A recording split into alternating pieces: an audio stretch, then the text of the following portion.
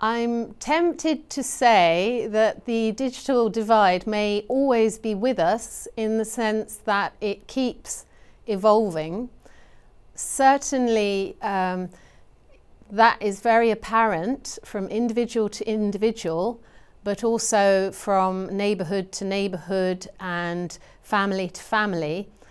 Equally, now though, we are seeing something of a, a cyber race between the digital haves and the digital have nots.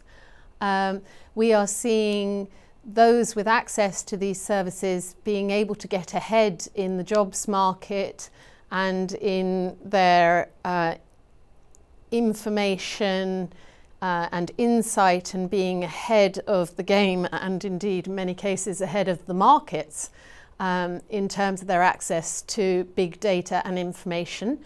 And equally, we are seeing some of us who are leading life pretty much as normal, as, as we always have, um, who may be left behind and unable to access those same networks and information um, simply because they have less access to the services. So we're seeing something of a race for cyberspace developing here.